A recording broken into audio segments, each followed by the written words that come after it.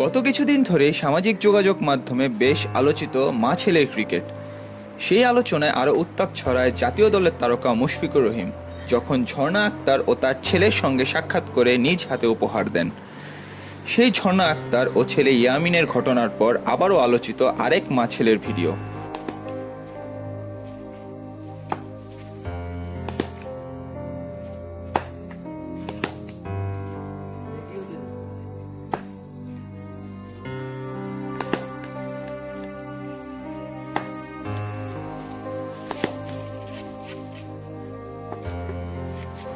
Corona ভাইরাসের কারণে যখন পুরো পৃথিবী থমকে আছে, তখন থমকে আছে ক্রিকেটও।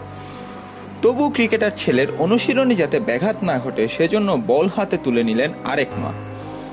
এই ঘটনা সাকিব আল হাসানের মাগুরার।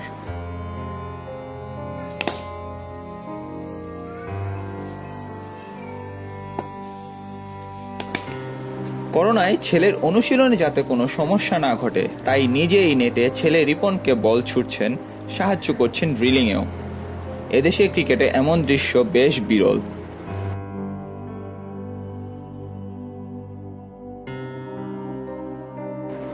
এ প্রসঙ্গে রিপনের মা রুবাইয়া বেগম জানান, তার স্বপ্ন ছেলে সাকিব আল হাসানের মতোই অনেক বড় ক্রিকেটার হবে। তাই তিনি তার ছেলেকে সব ধরনের সহযোগিতা করে যেতে চান। ক্রিকেট খেলা খুব পছন্দ করে। সেজন্য ক্রিকেট খেলে দেশের মুখ উজ্জ্বল করতে পারে। রিপনে প্র্যাকটিস করা আমার খুব ভালো লাগে। আমি তাই তাকে সাহায্য করি। সেজন্যই বড় প্লেয়ার করতে পারে। আমি ওর জন্য খুব দোয়া করি। আর ছেলে রিপনও জানান এভাবেই সহযোগিতা করে আসছেন তার মা। লকডাউনের সময় আমি প্র্যাকটিস করতে পারতেছিলাম না ঠিকঠাক করে। দেন আম্মু হচ্ছে আমাকে আমার প্র্যাকটিসে সাহায্য করছে। তাছাড়া আমার বড় ভাইয়ার অবদান সব থেকে বেশি ক্রিকেটের পিছনে আমার বড় ভাইয়ারই অবদান বেশি। উনি আমার ক্রিকেট বিষয়ে বেশ সাপোর্টিভ আমার ইচ্ছা আছে প্রতিটা প্লেয়ারের স্বপ্ন দেশের হয়ে খেলার। আমারও স্বপ্ন আছে দেশের হয়ে ক্রিকেট খেলব।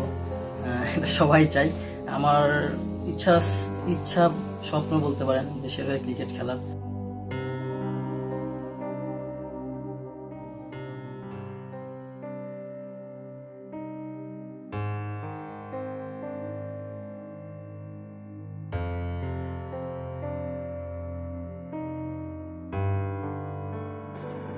প্রত্যেক পরিবারের দৃষ্টিভঙ্গিতে এরকম বিপ্লব ঘটলে অচিরেই এদেশে ক্রিকেটে উঠে আসবে সাকিব হাসানের মতো আর অনেক তারকা।